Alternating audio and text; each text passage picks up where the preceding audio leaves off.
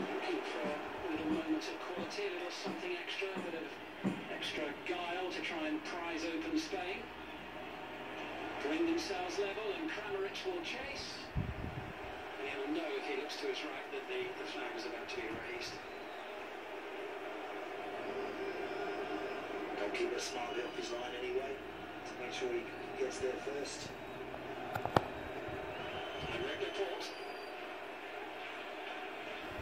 Into Morata.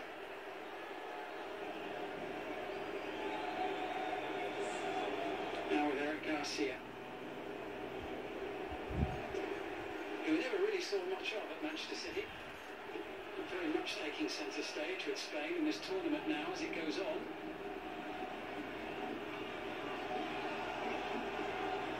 Sarabia, Morata waits in the middle. It's in towards Morata. It's headed away by